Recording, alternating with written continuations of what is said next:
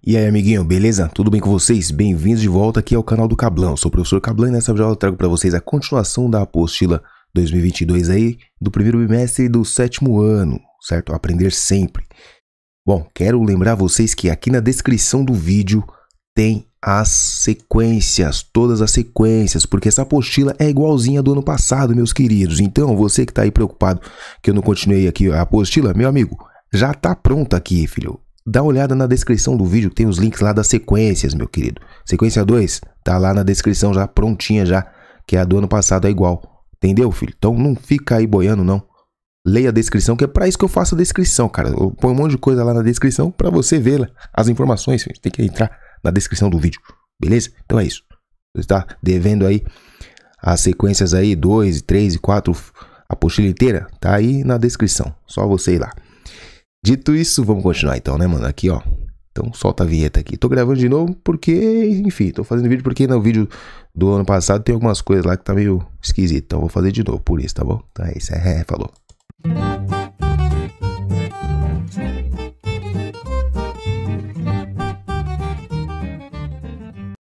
Muito bem, aulas 1 e 2 aqui, relações entre decimais e frações. O objetivo das aulas é ler e escrever números racionais apresentados na forma decimal. Ordenar e comparar números racionais representados na forma decimal. Decompor números racionais representados na forma decimal. Relacionar o número racional representado na forma fracionária com a representação decimal e vice-versa. Ou seja, passando de uma representação para outra. Observe o seguinte número, olha só. O númerozinho aqui, ó. Dois inteiros. Vamos até escrever aqui, né? Como é que lê isso aqui, ó? Dois inteiros. Então, tudo que vem na frente da vírgula é inteiro. E o que vem depois da vírgula é décimos, né? Na primeira casa aqui é décimos, né? Então, dois inteiros e cinco décimos. A primeira coisa é saber ler isso aí, ó. Dois inteiros, cinco décimos. Então, a vírgula separa o número em duas partes. A parte inteira e a parte decimal, tá? Então tá aí, ó. Nesse número, o que significa os algarismos 2 e 5? O 2 significa aí duas unidades, né? Dois inteiros, né? Duas unidades.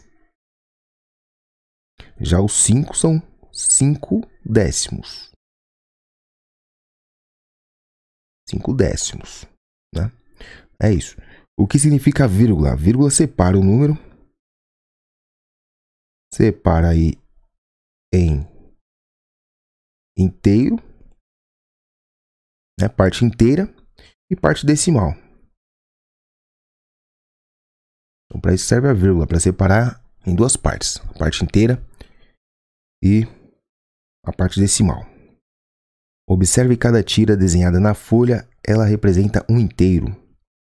Indique usando um número na forma decimal e outro na forma fracionária que parte do inteiro está colorida. Certo.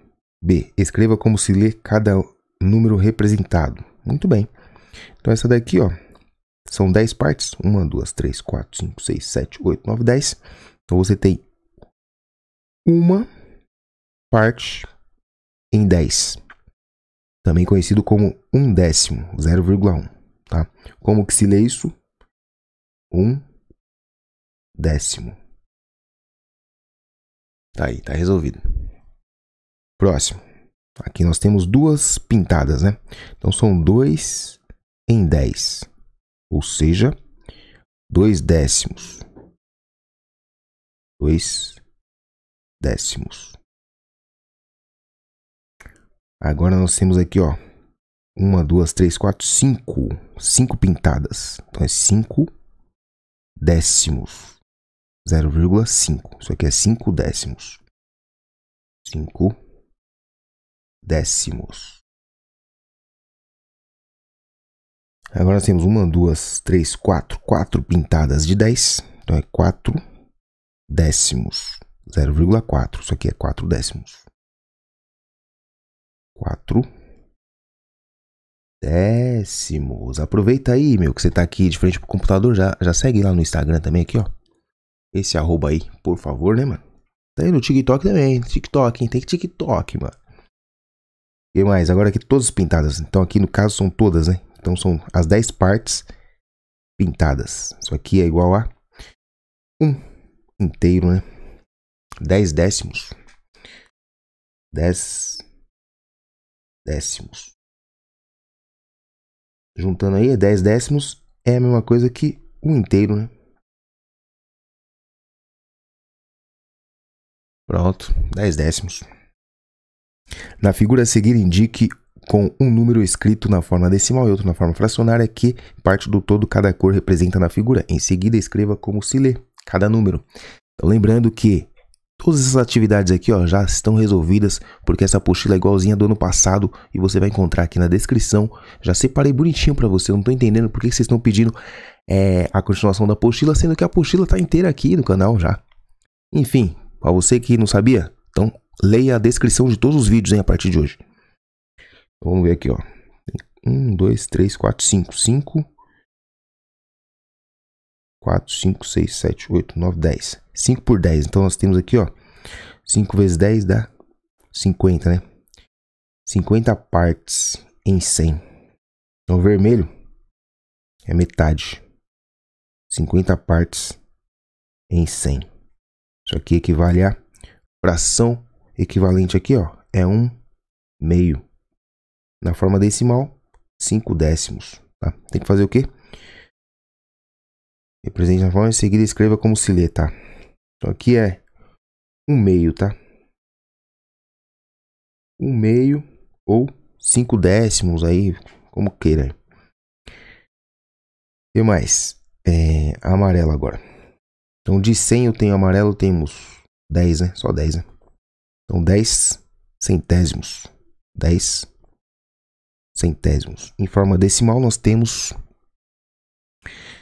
É, ah, dá para simplificar, né? Um décimo, que é um décimo. Tá 0,5. É, 0,1. Vou colocar aqui. Um décimo. Um décimo ou 50 centésimos, hein? Ó, 50 centésimos e 10 centésimos. Tá? Quando o denominador é 100, você fala centésimo, tá? Aqui eu tô dando nome para fração simplificada, tá? Na verdade, acho que é até bom a gente escrever aqui, né? Original, né? O original aqui é 50 centésimos. 10 centésimos. Aqui tem quantos? 5, 6, 7, 8, 9. 9 centésimos. Aqui, ó, nesse caso aqui não dá para simplificar. Ó. Vai ter que ficar assim mesmo. 0, é 0,09, né? Duas casas decimais, ó. Então isso aqui é 9 centésimos. Então quando o denominador é 100, a gente fala centésimos. E a verde, a parte verde nós temos aqui quantos aqui, ó? 6, 18, né? 18 centésimos. 18 partes pintadas em 100. 0,18. Isso aqui é 18. dezoito centésimos. Bem fácil, né? E a branca aqui? A branca temos aqui, ó. Uma, duas, três, quatro. Quatro com mais nove dá treze, né? Que é nove mais quatro, treze. Então nós temos treze centésimos. Aqui é 0,13. Então tá aí, ó. Treze centésimos. Pronto, acabou. Então, aqui eu coloquei o nome da forma. Aliás, acho que eu devo até colocar aqui, ó. Original, ó. 50. Vou colocar de outra cor aqui, ó. Aqui é 50 centésimos. Ah, e o outro aqui é 10 centésimos. Só que como eu simplifiquei, né? Já ficou menor as frações, hein? Continuando. A forma de bolo. Paulo preparou um bolo conforme a figura a seguir. Tá aqui a figura. Esse bolo foi cortado em fatias de tamanhos iguais. Paulo quer dividir os pedaços com mais três amigos. A quantidade de bolo será dividida igualmente? Então vamos ver quantos pedaços tem, né? Nós temos aqui, ó, 4 por 6. 4 vezes 6 dá 24 pedaços, né? Então são 24 fatias. Né? Temos 24 fatias aqui, ó. Eu contei, né? Então, sim. Sim. Dá para dividir igualmente, porque 24... 24 é divisível, né? Já aprendeu isso? Divisível é divisível por 3. 3 amigos, né? Quer dividir os pedaços com mais 3 amigos. Não, pera aí. Então é ele mais 3, né? Então são 4. Tá? Então é divisível por 4. Ele mais 3 amigos. São 4 partes iguais, né? Igualmente, ó. Paulo quer dividir igualmente os pedaços com mais 3 amigos. Que fração cada forma... É, da forma cada amigo receberá? Então, cada amigo receberá 24 ou melhor, é, 24 dividido por 3, né? Vai dar. Vai por 4, dá 6. 6 partes em 24. É, simplificando essa fração aí, vai dar 1 quarto para cada um. Um quarto não. É um sexto. Um sexto para cada um, tá? Então, que fração da forma cada amigo receberá? Então, 6 pedaços em 24 representa aí, aliás, um quarto. Um quarto. Olha, então música. Um quarto, né? Lógico. Então aqui foi simplificando, tá? Ó. Dividi aqui por, por 6 em cima também. Divide por 6, tá? Então cada um receberá. Escreve aí com suas palavras, ó. Cada amigo receberá um quarto da, da forma.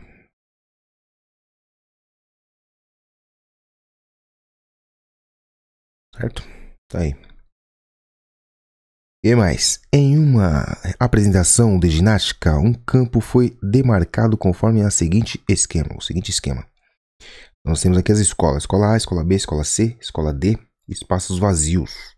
Que parte do campo coube a cada uma, é, a cada escola? Vamos colocar aqui, ó. Tem quantas partes? 2, 4, 6, 8, 10, né?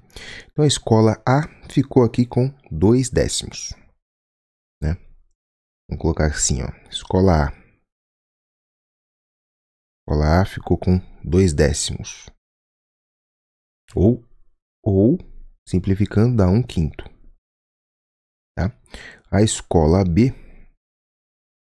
A escola B ficou com, a verde, ó. 1 em 10, né? Então, 1 um décimo um décimo do campo. A escola C, que é amarelo, escola amarela, ó, três décimos. Três partes do campo, aqui, ó, três décimos. A escola D, que é a vermelha, ficou com um décimo também. Um décimo. Então tá aí, cada escola tá aí. Espaços vazios nós temos três décimos também. Que parte do campo é ocupada conjuntamente pelas escolas A, B e C? Então agora nós temos que juntas, né? A, B e C, ó. Então vamos ver. A com mais B dá 3, né? Com mais C dá 6. 6 partes. Então, A mais B mais C são 6 partes de 10. 6 décimos do campo. Simplificando dá 3 quintos conjuntamente, né? Que parte do campo ficou com espaços vazios? Uma, duas, três, três partes, né? Então é três décimos. Três décimos do campo com espaços vazios.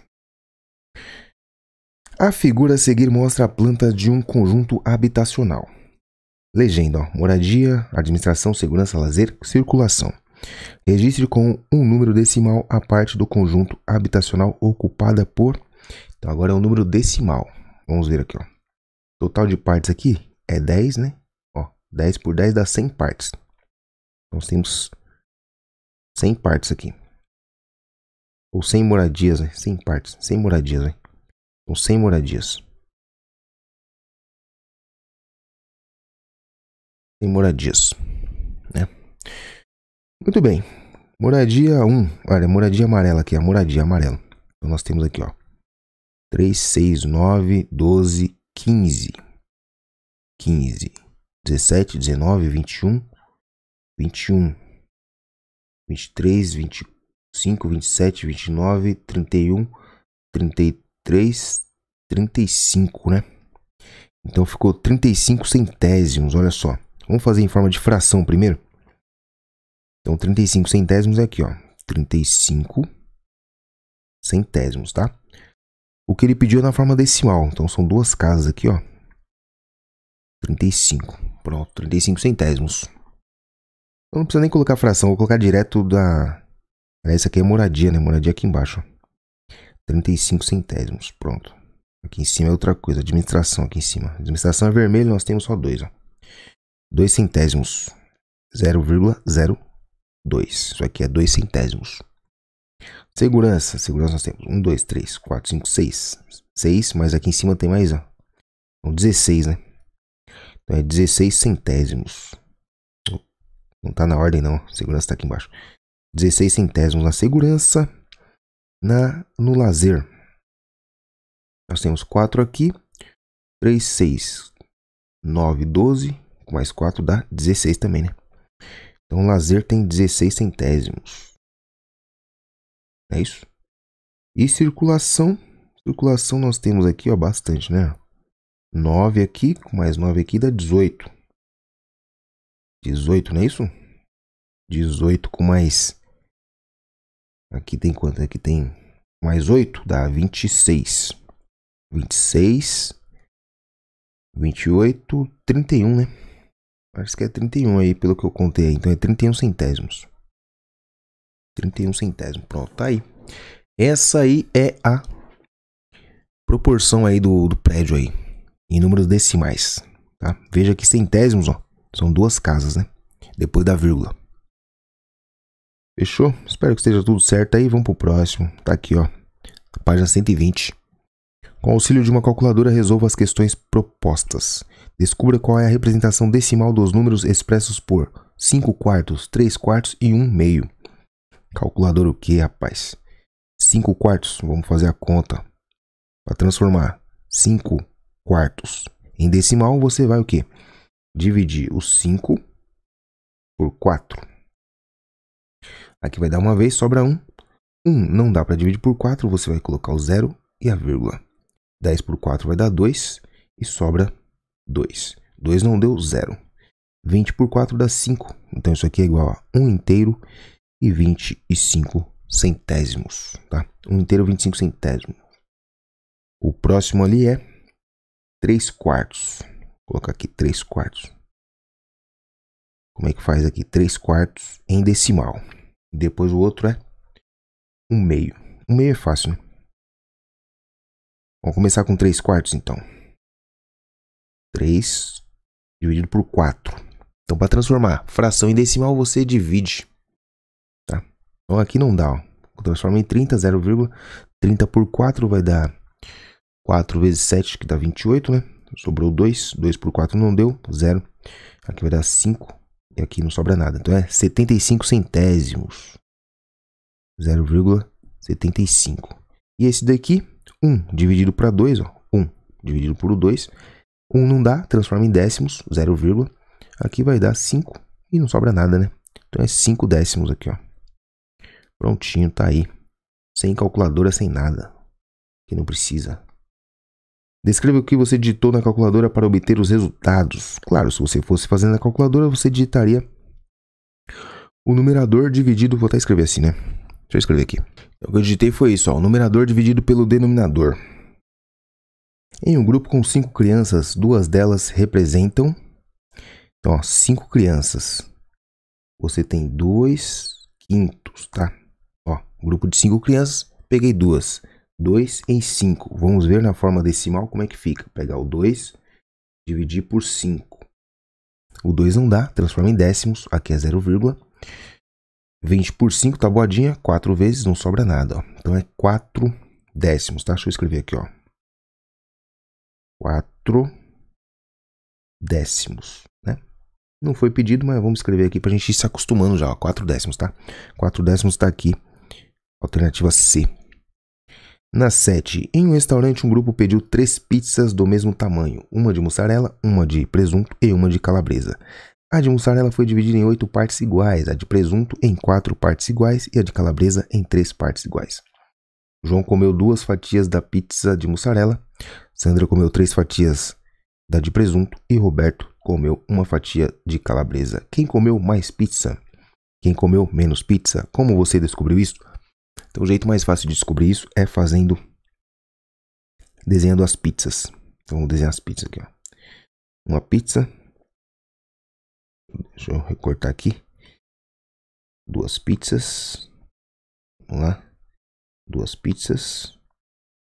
Mais uma. Três pizzas. Pronto. Olha as três pizzas aí. Então aqui, ó, de mussarela, né? Mussarela foi dividido em oito partes. Mussarela, oito partes. Vamos tentar dividir aqui, ó. Então, dividiu aqui. Dividiu aqui. Quatro partes, né? Depois dividiu aqui, ó. E dividiu aqui. Pronto. Oito partes. A de... Cadê? Cala... Cadê? Presunto foi dividido em quatro partes apenas. Uma aqui. Outra aqui. Quatro partes. E finalmente a de mussarela. Não, mussarela não, calabresa. Foi dividido em três partes apenas. Então, mais ou menos aqui agora, pouquinho mais complicado, né? Três partes. Mais ou menos isso aqui. Pronto. Agora vamos ver aqui quem comeu o quê. O menino aqui, ó, cadê? É, Roberto comeu uma fatia de calabresa. João comeu duas fatias de mussarela. Então, João comeu duas fatias de mussarela. Ó. Vamos pintar aqui, ó. Uma, duas. Duas fatias de mussarela. O menino aqui, cadê? Qual que é deles? Cadê o outro? O, cadê o outro maluco aqui? João comeu fatia de mussarela. Sandra comeu três fatias de presunto. Né? Lembrando que o presunto foi dividido em quatro partes. Caramba, a Sandra comeu bastante, hein, meu? a Sandra comeu três, mano. Três fatias dessa aqui equivale a duas da outra ali. Tá maluco? Comeu que nem um boi, velho. Depois reclama, né? Come pra caramba. E outra aqui, comeu só uma, né? Cadê? Sandra, Roberto, uma fatia de calabresa. Ó, uma fatia de calabresa. Poxa, o pessoal come bem, viu? Consigo comer nenhuma fatia direito. Muito bem, quem comeu mais, ó? Vamos comparar aqui. Quem comeu mais, lógico, foi a Sandra, né? Ô, menina gulosa essa Sandra aí, Sandra. Sandra comeu mais. Quem comeu menos? Quem comeu menos foi o Roberto, coitado. É Roberto, é? Cadê? Cadê o Roberto? Iguais e tal, partes Roberto. Uma fatia de calabresa. Não, peraí. Cadê o moleque? É o João, é o João aqui, ó. João comeu menos. João comeu menos. Pronto. Quem comeu mais, quem comeu menos. Como você descobriu? Desenhando aí, ó. Comparando as, as frações aí. Né? Aqui eu fiz desenho, né? Vamos fazer a fração, ó. Ali nós temos 2 oitavos. Aqui nós temos 3 quartos. E aqui nós temos 1 um terço. Tá? É, uma de três partes. Então dá pra gente comparar. Né? Bem que é o seguinte, né? Aqui a gente está comparando um terço em relação aqui tem três partes. Vamos, ver, vamos ver aqui como é que dá para a gente comparar aqui. Para comparar, eu tenho que ter as frações na forma decimal, mais fácil, né? Aqui dois oitavos seria um quarto, né? Dois oitavos é um quarto, ou seja, 25%. Ó. Aqui nós temos três quartos, é 75%. E aqui nós temos 0,333, né? Aproximadamente aqui, ó. Isso aqui é uma dízima periódica que você vai ver em breve. Mas comparando essas decimais aqui, você percebe que esse é menor e esse é o maior, tá? Bom, então foi isso. Próxima aula a gente volta aí, né? Lembrando que, meu, as aulas já estão aqui na descrição, cara. Se você precisa de outras sequências, tá aqui. Essa sequência 2, mas já tem todas aqui na, na, na descrição aqui. É só você ver lá os links. É isso. Nos vemos no próximo vídeo. Até o próximo. Falou.